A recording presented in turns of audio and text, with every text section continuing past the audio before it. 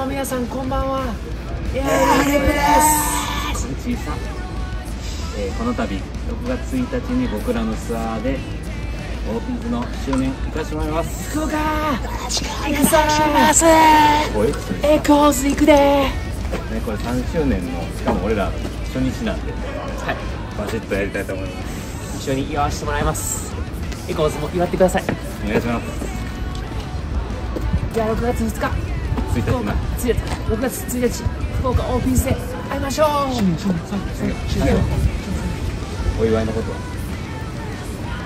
めっちゃ近寄るやんおめでとうござい。ます近寄り方がゾンビやねんお願い。しますエアリップでした